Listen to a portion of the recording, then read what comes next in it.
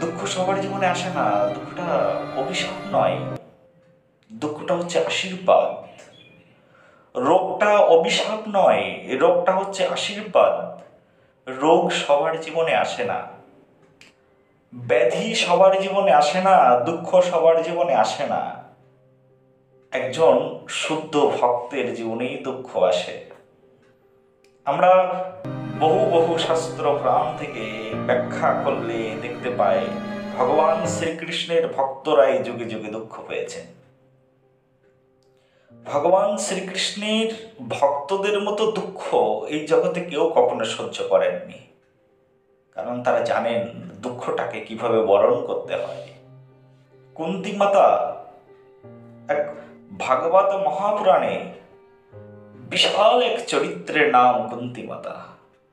মহিষী চরিত্রের নাম কুন্তি মাতা এই কুন্তি মাতা পরমেশ্বর প্রভু ভগবান শ্রীকৃষ্ণের চরণীকে দেখে প্রার্থনা জানিয়েছেন হে প্রভু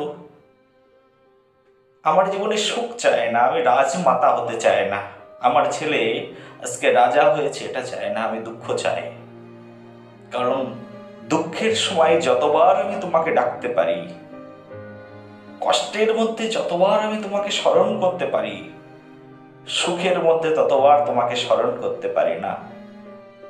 আজকে সুখের দিনে তুমি আমাকে ছেড়ে চলে যাচ্ছ। এই সুখ পেয়ে কি লাভ আমার? সেই জন্য তুমি আমাকে দুঃখই দাও প্রভু। ভগবান শ্রীকৃষ্ণের ভক্ত ছিলেন পাণ্ডবরা। প্রভু সবসময় পাণ্ডবদেরকে দুঃখী রেখেছেন। প্রভু কি পারতেন না? পরমেশ্বর ভগবান শ্রীকৃষ্ণ অনাদির আদি গোবিন্দ অখিল ব্রহ্মাণ্ডের একমাত্র ত্রাতা। তিনি কি পারেন না এক নিমেষে পাণ্ডবদের সব দুঃখ দূর করে দিতে? কিন্তু কোনোদিন দেননি। কারণ তিনি তার ভক্তকে দুঃখের মধ্যেই রাখতে চেয়েছেন। দুঃখের মধ্যেই পরম সুখ সেটাই তিনি বোঝাতে চেয়েছেন। সেই জন্য কৃষ্ণ ভক্তের জীবনেই বারবার দুঃখ আসে, সংঘাত আসে, বেদনা আসে। কিন্তু কৃষ্ণ ভক্ত সেটাকে সহ্য করে নেন।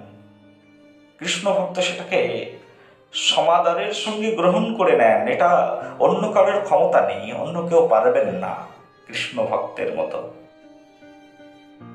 কোন কোন ভক্ত প্রশ্ন করেন, যে কৃষ্ণ ভক্তের জীবনেই যত রোগ ব্যাধি আসে, বাইরের মানুষের কেন আসেন না?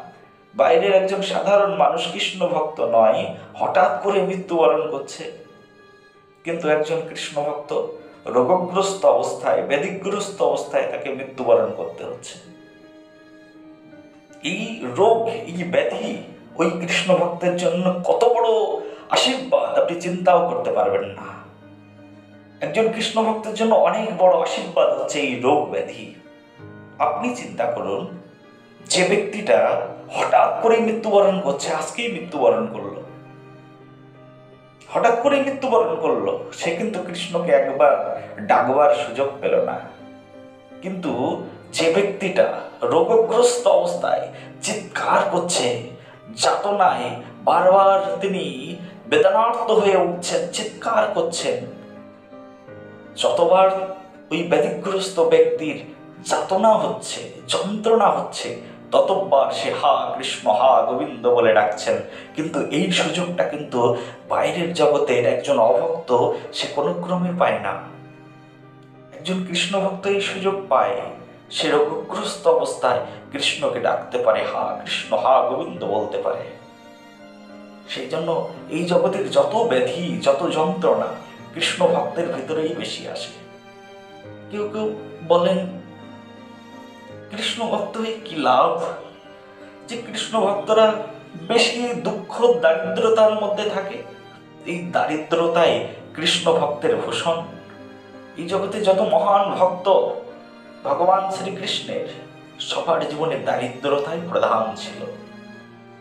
দরিদ্র ছিল বিদুর, ভগবান শ্রীকৃষ্ণ তাকে করুণা করেছেন।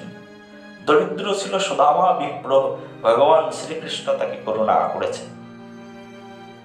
দিনের অধিক দয়া করেন ভগবান, ইহা হেরি কুলীন ধনির বড় অভিমান। পরমেশ্বর, ভগবান শ্রীকৃষ্ণ প্রভু, সদা সর্বক্ষণ দিনকেই তিনি করুণা করেন। দিনের অধিক দয়া করেন প্রভু, তার মতো দয়ালু এই জগতে আর কেউ নেই। তিনি সদা সর্বক্ষণ দিনের ভগবান। সেই জন্য দুঃখ, দারিদ্রতা ভগবান শ্রীকৃষ্ণের ভক্তদের সবসময়ের জন্য বেশি। কারণ দুঃখ, দারিদ্রতা, কষ্ট, এগুলোকে ভগবান শ্রীকৃষ্ণের ভক্ত হৃদয় থেকে গ্রহণ করতে জানেন।